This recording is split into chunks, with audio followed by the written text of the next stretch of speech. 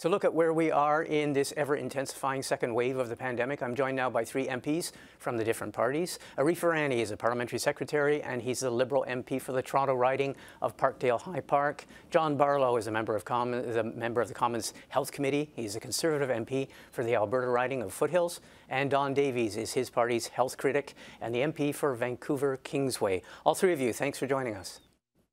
Thank you. Uh, Arif Virani, I want to start with something. It came up again today, but it came up yesterday as well. The health minister was asked, the prime minister was asked.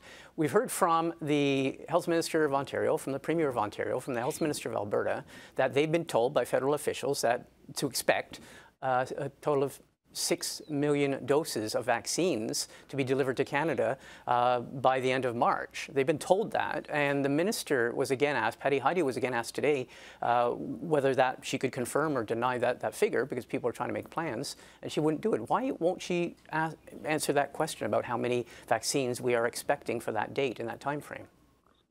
Well, I think we've been we've been quite clear about what we're doing with respect to vaccine procurement. Uh, it's obvious; uh, it should be obvious to Canadians that there is 400 million doses in total that have been procured from seven different uh, companies.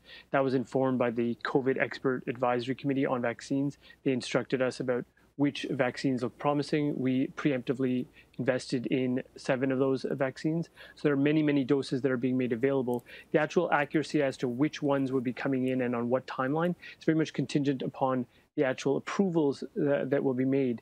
All of these promising news that people are hearing about Moderna, Pfizer, et cetera, are indeed promising, but the approvals haven't been done not in the United States and specifically not in, by Health Canada. But I guess the question is if, uh, if federal officials, I mean, we have, Don, we have, we have Doug Ford, the, the Premier of Ontario, if federal officials are actually telling provinces, here's the overall number, we don't even have to get into the division and the splitting it up and the proportioning it out, but here's the overall number we're expecting by March, why can't she just confirm that? Well, I think because the number is in so much flux, in fairness, Martin. So the number, when I said this 400 million procured, for example, if some of the if the vaccines that are approved require multiple doses, you would need 70 million doses for 35 million Canadians, for example. So we have already invested in seven uh, vaccines. We are making sure that when the time comes when a vaccine is approved internationally and approved here, we will make sure Canadians are ready and we will get it to all Canadians, including to all of the provinces that are asking for it. Okay, John Barlow, what do you make of this? I know the Health Committee has been asking about vaccines and all that. Um, some premiers are going, and some of their officials and ministers are going ahead with the briefings they've been getting from federal, uh, federal bureaucrats. Uh, should they be doing that? Or are they playing politics maybe? Well, I, I think uh, to my colleague's point, I think they've been every anything but clear. Uh, we shouldn't be hearing these numbers from provincial health ministers or provincial premiers uh, when we don't even know as parliamentarians what these numbers are, and we certainly haven't been told this at, at the health committee. I think Canadians are becoming very frustrated with all these mixed messages uh, when the provinces are saying pretty pretty uh, diligently on, on what numbers they expect in terms of vaccines, uh, but the federal government, the health minister, and the prime minister, for that matter, matter have been uh, have not been transparent on this at all, have been dodging this question. Uh, we don't know how many uh, vaccines are available. We've heard now I'm hearing 40, 400 million. I've heard 20. I've heard six. I've heard two. We don't know how it's going to be delivered, how it's going to be distributed, the logistics behind it, the infrastructure behind um, distributing th- those vaccines. Canadians need a clear answer and a clear strategy to when this vaccine is going to be available, how many is going to be available, who is going to get it, how it's going to be distributed, who's going to pay for the infrastructure to store this vaccine. We have none of that. Uh, and uh, when we see this, the second wave that is now upon us, um, certainly there's there's good news and there's hope that the vaccine is is uh, on the horizon. But through this entire process, the the mixed messages and the lack of communication that we've had from the federal government is, is frustrating not only us as parliamentarians, but certainly Canadians as well. Okay, Don Davies, I'm going to ask you because I know at the Health Committee you have asked several times many questions about the vaccines, but I'm asking you specifically, how do you understand what we've just seen over the last two days? This strange phenomena where provincial ministers are giving numbers and talking about their, their hoped for proportion of distribution, and the federal government is saying, look, you hold your horses, don't count your chickens before they're hatched. How do you understand it all? Well, it's extremely puzzling. Uh, you know, we did have uh, uh, the Ontario Health Minister come out and be extremely specific. You know, she said she was going to get six million doses, four million from Pfizer, two million from Moderna. She even split up how those doses would be distributed in Ontario and the rest of the country, and yet we're not hearing any uh, specific figures from our federal health minister. Um, and in fact, I don't even hear a credible explanation from the health minister as to as to what's going on here. You know, is the Ontario health minister making up numbers? Um, you know, does she have information we don't? And I agree completely with what John just said. Look, um, the Canadian public deserves answers, and the, the best antidote to confusion and fear is transparency and details. We have the um, the U.S. Center for Disease Control uh, in in the, the country just south of us has announced that uh, they have all states ready for vaccine distribution effective November 15th. They are ready for 24-hour distribution once a vaccine is available.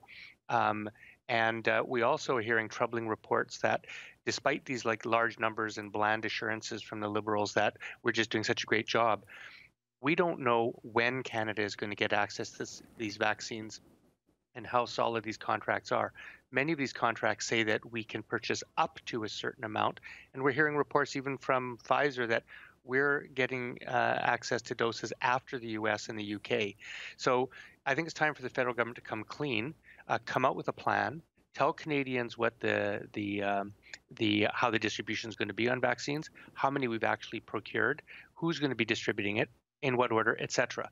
And and that is desperately needed now, particularly with these modeling numbers that have come out today that are are so actually are so scary. Um, Arif Virani, um, let's get to the, the numbers today. And then the, one of the reasons we're talking, the Prime Minister and the Public Health Agency have shown these projections to the Canadian people. They are very, very sobering. Um, what do you say to people who take from that and then they say, well, if the situation is so dire, if things look very, very worrisome, to say the least, uh, is the federal government doing enough? The Prime Minister said he's not going to invoke, for example, the Emergencies Act, but could Ottawa be doing more? So I'd say that we've been here from the start in terms of addressing the needs of individual Canadians, their healthcare needs, their economic needs. We've been there for the provinces, we've been there for businesses. We will continue to be there, and the spending that we put on the table, 230 billion odd dollars, demonstrates that. I think what I say when I hear those numbers, and they were sobering, when I heard the Prime Minister, it was concerning, uh, is that we have to make sure that we treat this with the same level of severity, the same level of conscientiousness and approach as Canadians as we did back in March, April, and May when Canadians showed incredible resilience. What he talked when he spoke about healthcare workers, that really resonated with me. My wife is one of those frontline workers. But I think what's also important as it relates to what we were previously discussing about vaccines is that a vaccine gives people hope, but the best antidote we have right now until a vaccine is approved and available in this country is for people to change their behavior, which means limiting gatherings, observing spacing, washing their hands, wearing masks, downloading apps, etc. That remains public health imperative number one, and that's the message that really needs to sink in, which is what I would want to communicate to Canadians right now. Okay, John Barlow, you're from Alberta, and I was looking at the public opinion polling this this week, and Alberta is the only province where the majority, clear majority of Albertans aren't pleased, say they're dissatisfied with the way the provincial government has been handling the pandemic, and especially in terms of measures to try and contain the growth that you're seeing in your province. Would you be in favor of the, of the federal government becoming more involved in some way in Alberta? No, I think that the provinces have to make uh, those decisions on their own and what's best for their their constituents. That that is the, the jurisdiction that the provinces have. I think where the, the federal government does have a role is providing the tools and the resources that provinces need uh, to address these issues. And it was interesting today to hear the prime minister say we need to use every tool in our toolbox. Well, that's great, but you have to ensure that Canadians and the provinces have access to those tools, have access to rapid testing, have access to home based testing, have access to a clear strategy on vaccine distribution. Uh, countries around the world have been uh, proven that rapid testing is a safe, uh, science based uh, alternative to quarantines, for example, to give us a, a, clear pathway to economic recovery and certainly uh, to uh, to protect this, the health and safety of Canadians. But the, the federal government has been very slow in in accessing and distributing rapid testing. We have several companies in Canada that have developed rapid tests that have been approved and are being used in countries around the world, but not here in Canada. Uh, and for the uh, deputy prime minister, who is also heads Canada's COVID response team, to say that uh, comparing access to rapid testing to selling snake oil to Canadians when Canadians are losing their jobs, they're losing their businesses, losing loved ones, uh, and, and, certainly our mental health and opioid addictions are at a crisis level. They are looking for um, solutions, and to have this again, this this lack of transparency and these lack of details, and, and, certainly stepping up in terms of expediting approval processes for some of these this technology that is being used in countries around the world, I think is very frustrating for Canadians. Okay, Don Davies, I want to ask you the question that really a lot of people are asking, and the Prime Minister put it to people as well. When we see these figures, and when we've learned over the last nine months that public health is about what the public does as much as anything else, where are we in terms of the public's confidence and the public's uh, compliance and the public's cooperation? Because this Christmas season, or this holiday season, is going to be all about what you and I do. So where are we in terms of governments, the federal government, and people's trust and, and compliance? Oh, that's a great question. Uh, you know, I'm in British Columbia here. I can tell you that our our uh, our NDP government in British Columbia has done an uh, you know I think an exceptional job uh, in maintaining the public's trust. Um, and I think that's uh, one of the reasons why we're doing a little bit better than other provinces.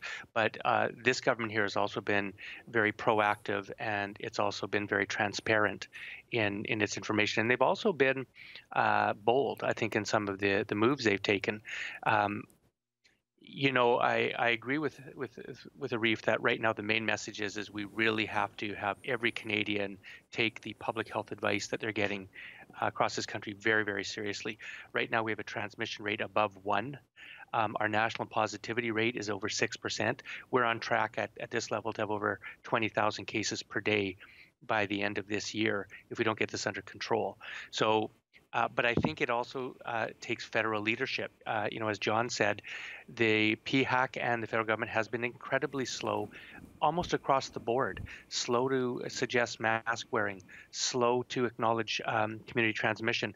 Even recently, slow, very slow to acknowledge aerosol transmission, which the WHO acknowledged in the summer. We just had that up on our PHAC website a week ago. Uh, this is the kind of, of tepid response, lack of transparency, and slow response from the federal government that I think can jeopardize that very important public confidence that's needed. Finally, what I would just say is we need a strong assurance from the federal government that Canadians will be taken care of because Canadians have to be supported. If we want them to follow this public health advice, they've got to be able to stay home. They've got to be economically supported uh, at this time. And I think a strong message uh, from the prime minister in this regard is needed at this point in time to keep that confidence and have people conform to the public health advice they're getting. Okay, um, Arif Virani, John Barlow, and Don Davies, I want to thank you, and all three of you being the public servants you are, I want to uh, congratulate you, and, and, hopefully you will be taking the same message to your constituents in, uh, in uh, this collective job we all have. I want to thank you. Thanks for taking the time. Thank Thanks, you. Martin. Thanks, you guys. Thank you. Good to see you both.